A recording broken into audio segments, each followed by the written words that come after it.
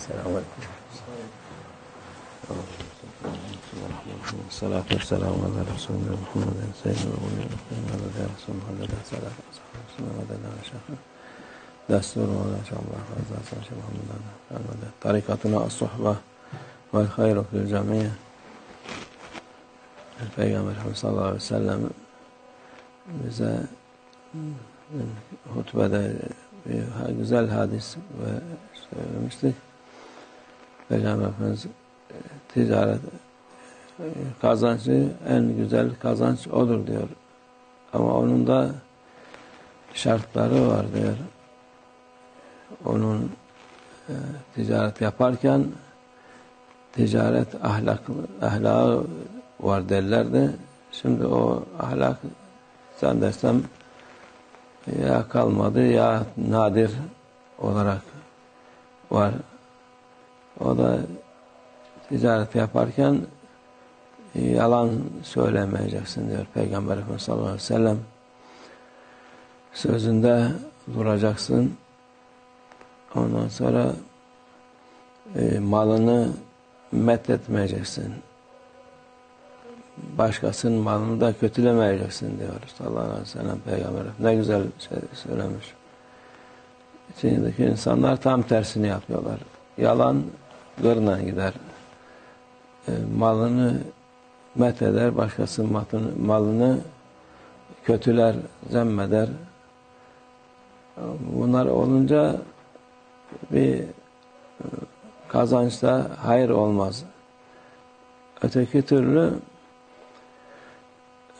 hayır, bereket olur. Ee, insan, e, mümin olan insan e, her şeyi rast gider. Yani bu e, eski zamandaki insanlar mesela Hazreti çoğu evliya, salihler, meşayihler, şeyler başka işler de yaparlardı. Ticaret gibi. Onun geçinip kimseye muhtaç olmadan geçinirlerdi. Onların usulü işte bu, aynen bu usuldu. Peygamber Efendimiz sallallahu usulü e, Hazreti e, İmam-ı Azam Hazreti Ebu Hanife Hazretleri'nin tüccar olduğu herkes bilir, çoğu insan bilir. Onun ticareti çok e, büyük bir ticaret vardı. Zenginlik çok fazla vardı yani. O ticaretinden, zenginliğiyle hayır hasanat yapar. İnsanlara da bakardı. Bir gün e, bir işi olmuş, dükkana birisini, yanındaki çalışanı bırakmış. Zannedersem, tahmin edersem. Müşteri gelmiş, vermiş, e, malı göndermiş. Sonra Hazreti Ebu Hanife gelip bunu nasıl ne yaptın? İşte bunu şu fiyattan, güzel fiyattan sattık demiş. Demiş bu e, bir ayıbı vardı. Defası vardı bunun.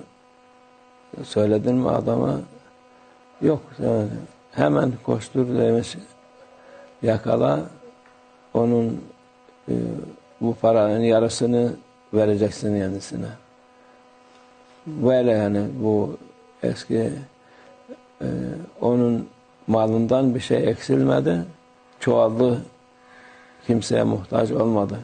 Şimdiki insanlar e, iyi şey yapayım diye, kazanç yapayım diye her türlü hileyi yapıyorlar. Ama bilmiyorlar ki kendilerine zarar verdiklerini, bereketin kaçtığını, bereket kalmadığını bilmiyorlar. E, bu e, bereket Allah Azze ve Celle'nin bir sırrıdır. İman edenler onu e, ona inanması lazım ki bereket kaçtı mı bir faydası olmaz. Bir işin şey yok.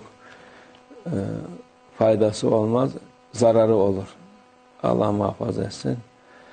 Allah nefsimizin şerrinden muhafaza etsin. O, hem ticarete bu uyuyor hem nefsimizin e, terbiyesi için uyuyor.